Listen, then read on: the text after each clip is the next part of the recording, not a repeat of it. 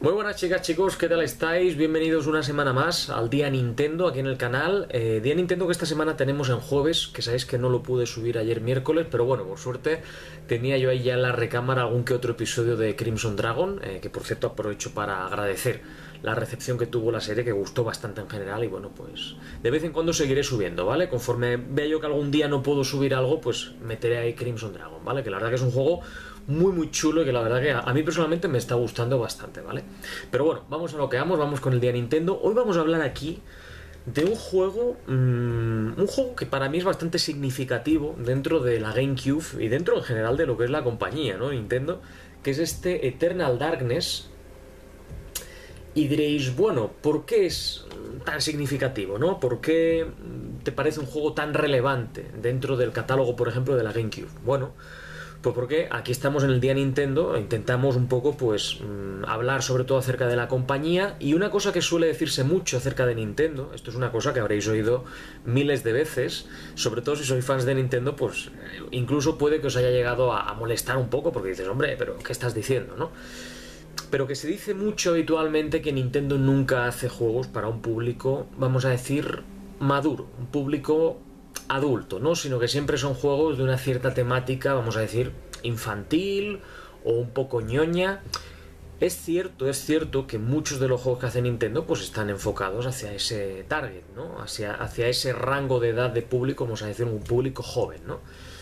Pero Nintendo también tiene ejemplos de... Y sobre todo en el catálogo de la GameCube hay muchos ejemplos de juegos más duros que las piedras. Más duros que las piedras. Aquí, por ejemplo, hace dos o tres semanas tuvimos F0GX. Eso es un juego para, para gente que le gusta morder piedras con los dientes. ¿Entendéis lo que os digo? Y hay muchos más ejemplos así. Eh, juegos, yo que sé, como Fire Emblem Awakening, Castlevania, Lords of Shadow, Mirror of Fate. Estoy poniendo ejemplos más recientes, ¿vale? Virtues la Reward. Eh, o sea, son juegos realmente son juegos con muy mala leche. Unos por la temática y otros por la dificultad que tienen. Entonces, Eternal Darkness, eh, lo que sí que es cierto, porque muchos de estos juegos diréis, bueno, es que estos juegos son third parties, ¿vale? Eternal Darkness es un juego desarrollado por Nintendo, bueno, desarrollado por Silicon Knights, pero con la producción y supervisión en todo momento del desarrollo por parte de Shigeru Miyamoto y de Satoru Iwata. Antes de que Iwata fuese presidente de Nintendo, pues Satoru Iwata también estuvo involucrado en la producción, en el desarrollo de este Eternal Darkness. Y el juego es llamativo porque es un survival horror. Que la verdad es que survival horror desarrollados por Nintendo, ponedme ejemplos, ¿no? Ponedme ejemplos de survival horror desarrollados por Nintendo. No hay. De hecho, yo llevo, bueno, yo y muchísima gente, eh, llevamos ya muchos, muchos años esperando que pueda haber una secuela de Eternal Darkness, ¿no?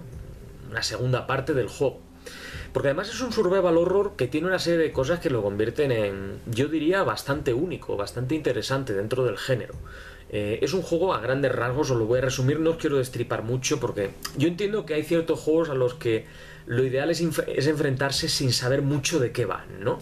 Pero bueno, os doy unas pinceladas como me gusta hacer siempre para que sepáis qué es lo que os espera en caso de que os animéis y luego ya pues si os animáis seguro que os encontraréis mucho más. Bueno, Eternal Darkness es un juego en el cual eh, asumimos el papel protagonista de una chica que se llama Alexandra y entonces ella, bueno, pues tiene su vida normal y corriente, su trabajo, y entonces la llaman para que acuda a la mansión de su abuelo porque le han asesinado. Entonces, ella ya en el momento, que de hecho ese es el inicio del juego, hay una escena además muy desagradable, muy violenta, que ya te pone sobre el papel que este va a ser un juego para un público adulto, como decía, hay una escena bastante gore al principio.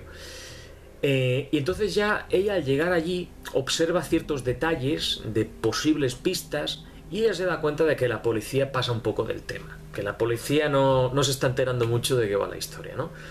Entonces lo que decide hacer es quedarse en la mansión a investigar qué es lo que puede haber ocurrido en caso de que, de que realmente haya sido una muerte por asesinato, ¿no? Y de que haya pistas que encontrar. Entonces ella decide quedarse en la mansión y ahí es donde empieza el juego, ¿de acuerdo? Ahí es donde empezamos ya a tener eh, el control del, personaje.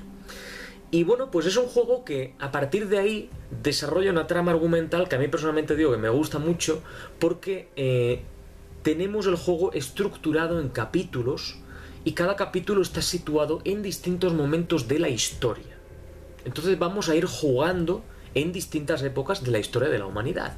En cada una de ellas, pues con un personaje que manejaremos, no siempre es el mismo, por supuesto. Eh, de hecho, también, por ejemplo, me acuerdo que hay un capítulo que no recuerdo cuál es. Son 12 capítulos los que tiene el, juego, está dividido en 12 capítulos, y hay uno de ellos que ahora mismo la verdad que no me... Es cerca del final, pero no recuerdo exactamente el número, me vais a, a disculpar, en el cual, por ejemplo, manejamos al abuelo de Alexander, es decir, precisamente a quien era asesinado al principio del juego, ¿no? Entonces, pues es eso. Y por supuesto el capítulo final es con, con Alexander. Entonces, lo bueno que tiene, lo que me gusta es que nos movemos en, en, ambientes muy distintos, en parajes completamente diferentes.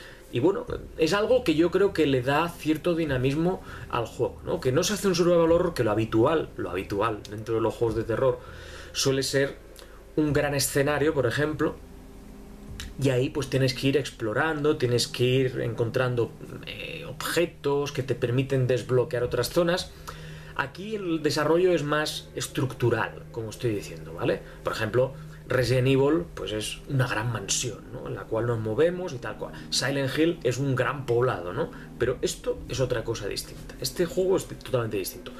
Em, y bueno, pues más o menos a nivel argumental no os quiero desvelar mucho, ¿vale? Porque yo creo que con eso ya sabéis de qué va el juego, si os interesa. Eso sí, es un juego que tiene momentos de muchísimo mal rollo.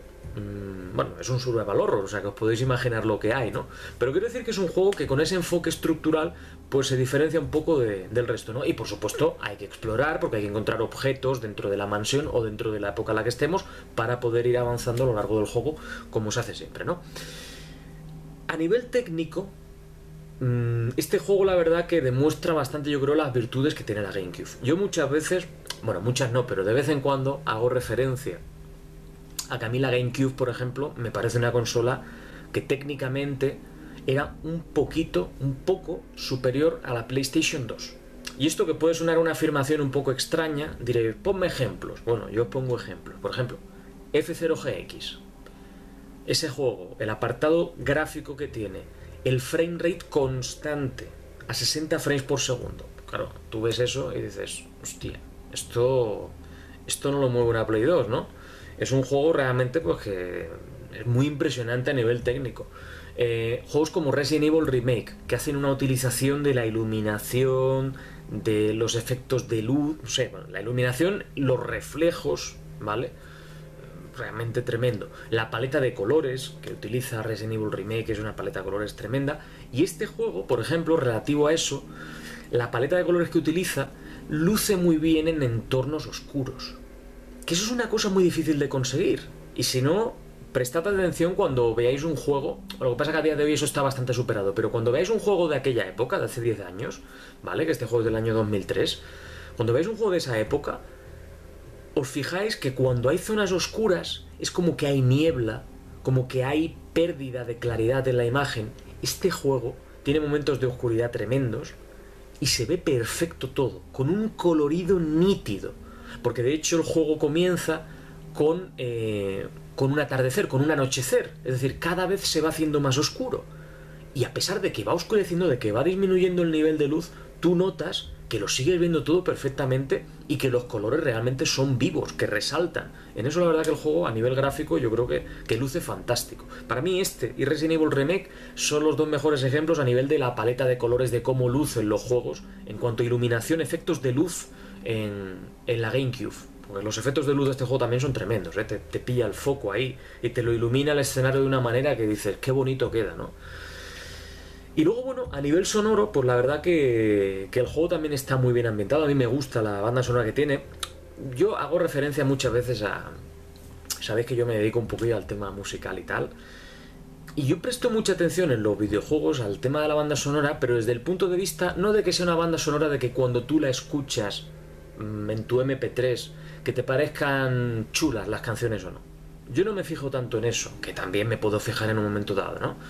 Pero me fijo sobre todo cuando estoy jugando de qué manera acompaña la banda sonora a lo que tú estás viendo en ese momento en pantalla. Porque al fin y al cabo, componer una banda sonora, ya sea para un videojuego o para una película, me da lo mismo, la función que tiene la banda sonora no es ser protagonista. Todo lo contrario, es apoyar, arropar, resaltar lo que tú vas viendo en pantalla. Y la verdad que eso, este, este juego pues también lo tiene, ¿no? Una banda sonora en plan ambiental, que esos momentos de tensión que también te mete ahí, cizaña, ¿no? La verdad que es, es otro apartado que desde mi punto de vista pues pues está bien conseguido en este Eternal Darkness. Y sobre todo una cosa que ya va más allá simplemente de lo técnico, de lo gráfico, de lo argumental, yo creo que es la ausencia de juegos de este tipo muchas veces en consolas de Nintendo, ¿no? Que el hecho de que no suele haber muchos no significa que no los haya. Por ejemplo, este me parece un gran ejemplo de, de juego así un poco más adulto, ¿no? En la GameCube la verdad que hay un, catálogo de juego, catálogo tremendísimo de videojuegos de este estilo, ¿eh? Público un poquito más ducho en videojuegos, ¿no? Mucho más rodado en la materia. Así que bueno, pues la verdad que es un juego, además tiene una portada muy chula. Una portada ahí en plan también, ¿eh? Que está realmente bien. Y bueno, os pondré imágenes para que veáis cómo luce, pero que, vamos, recomendado 100% este Eternal Darkness para, para la GameCube. Y sobre todo, pues teniendo en cuenta que no ha habido una secuela del juego todavía la estamos esperando, pues oye, eh, es un juego que yo recomiendo 100% sin ningún tipo de duda.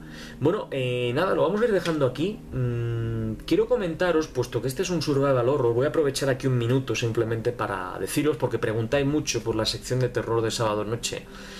Yo es que la sección de terror de sábado noche el problema lo tengo este mes.